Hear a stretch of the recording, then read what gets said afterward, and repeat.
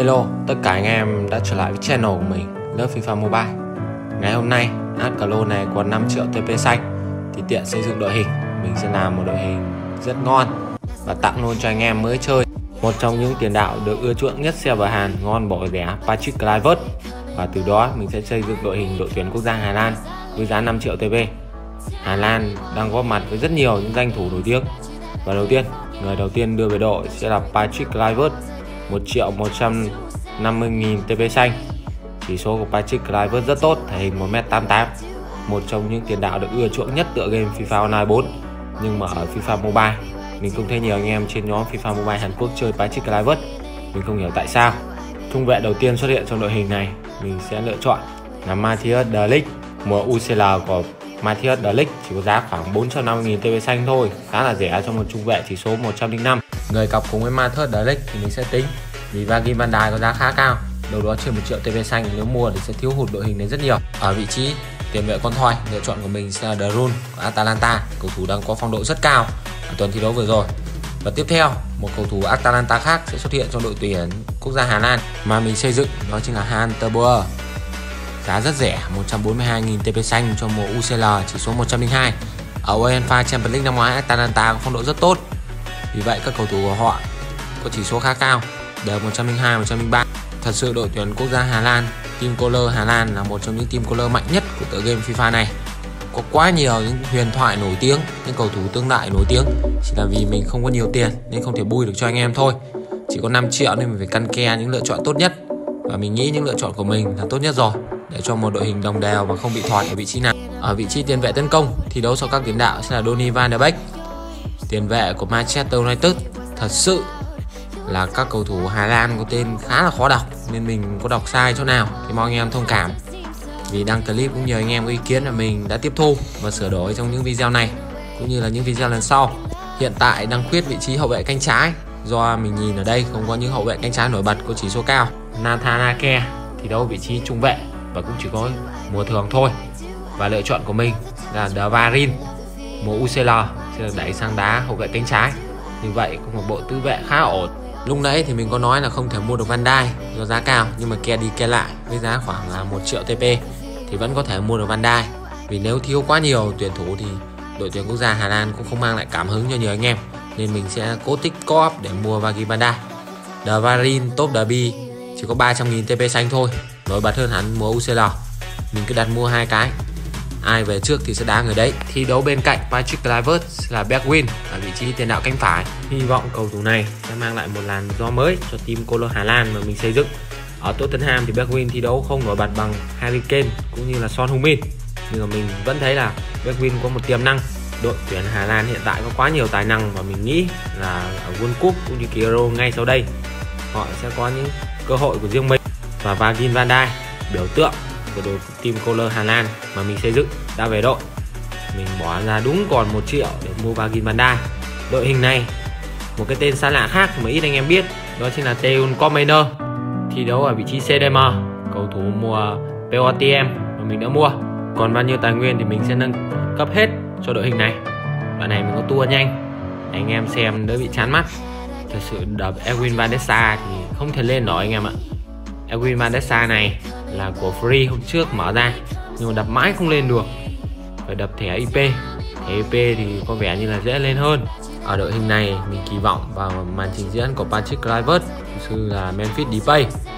Depay là cầu thủ sinh năm 1994 nhưng anh em thấy là kinh nghiệm thi đấu quá dày dặn. Khoác áo Manchester United trước khi chuyển sang Olympic Lyon. Và anh sẽ ra đi ở dạng chuyển nhượng tự do mùa hè này. Không biết là anh sẽ gia nhập câu lạc bộ nào mùa POTM của Memphis Depay, chỉ số là 107 khá cao. Đây, sau khi hoàn chỉnh, đội tuyển Hà Lan mà mình xây dựng có OVR lên đến 111 khá là cao anh em ạ, bỏ ra 5 triệu TP mà xây dựng được một hình có chỉ số lên đến 111 là tương đối ổn đấy. Và mình sẽ test thử luôn cho anh em, xem đội hình này sẽ thi đấu như thế nào. Chỉnh chụp khá tốt của The Varin anh em có thể thấy. Memphis Depay thì khá đầm anh em ạ.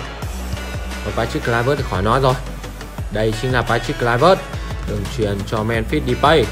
Phối hợp 1-2 Patrick Kluivert. Chọc khe, chúng ta có thấy là khả năng chạy chỗ của Patrick Kluivert kìa. Tỷ đè rất tốt, nhưng đường chọc khe thì mình cảm thấy là không ổn. Tiếp tục là những tình huống áp sát. Mình đá thì thường hay bắt bài anh em ạ đường ăn cả ngã về không? Davarin đá cánh trái hợp thế nhỉ? Nghĩ là đá trung vệ, nhưng mà chuyển sang đá cánh trái lại tương đối ổn anh em ạ. Ổn chỉ là từ mình nói khiêm tốn thôi. Marin à, đá cánh trái cực kỳ hay. Lại là Patrick Kluivert, skin đáy bóng. Patrick Kluivert, hơi tham. Hậu vệ đội bạn, không biết ai đây. Từ đầu giờ xử lý những pha tỉ đè rất tốt. Patrick Kluivert, Johnny Van der Beek. Và chọc khe quá hay cho The Run và miết bóng tinh tế. Van der Beek, rất đẹp. Không được. Đá vào góc gần, hơi nhẹ và đấy nếu đóng ở góc xa thì tỷ lệ có bàn thắng sẽ cao hơn. Tình huống đánh đầu ba chiếc Clivert. không được. Không phải, người vừa tham gia tình huống đánh đầu là vagin Van Dijk. Thể hình tương đối giống nhau. Khi mà mình bình luận thì nhìn nó sẽ xa hơn. Nên là nếu đọc tên cầu thủ sai thì mong anh em thông cảm. Hôm nay mình sẽ quay nguyên trận để anh em xem khả năng cũng như là lối đá của mình. Thật sự mình đá cũng không hay đâu anh em ạ. Nhiều anh em cứ đòi solo với mình. Nguy hiểm lắm mình phải bắt bài. Mình thường hay đá bắt bài nên là nhiều anh em sẽ thắng mình rất đậm đấy. Mình nghĩ là như vậy. Danh thì mình cũng có thể đá ở mức một mét fan nhưng mà cũng có trận thắng trận thua. Quá nguy hiểm. Không hiểu sao Osama Dembele lại đánh đầu thắng trong tình huống vừa này. Không hiểu là The Line hay Vagin Van Dijk kèm người nữa. Chúng ta cùng xem lại tình huống quay chậm thì sẽ rõ.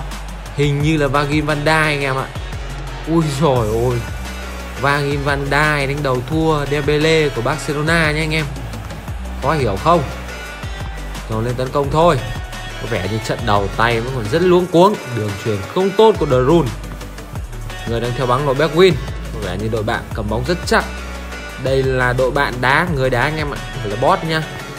Rồi bot cho máy đâu? Chọc khe cho Patrick Kluivert. Tình huống đối mặt Patrick Kluivert.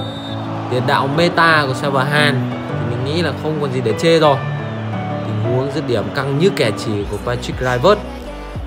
Trước đó thì phải kể đến đường chọc khe quá tinh tế của Bergwin mình không biết là đọc là Bergwin hay Bergwine nhưng mà anh em nếu mà mình đọc sai thì anh em mong anh em thông cảm cho mình. Thật sự tên cầu thủ Hà Lan rất khó đọc. Ví dụ như hôm trước mình có đọc là Johan Cruyff, thì anh em ở Johan Cruyff, mình cũng đọc theo các thế hệ bình luận viên cũ anh em ạ. Còn thế hệ bình luận viên mới bây giờ thì mới sửa cái Johan Cruyff ấy. mình nhớ là như vậy mình là người xem bóng đá từ rất lâu rồi nên là những ký ức từ tuổi thơ thì mình thường hay nhớ trong đầu. Mong anh em bỏ qua cho mình.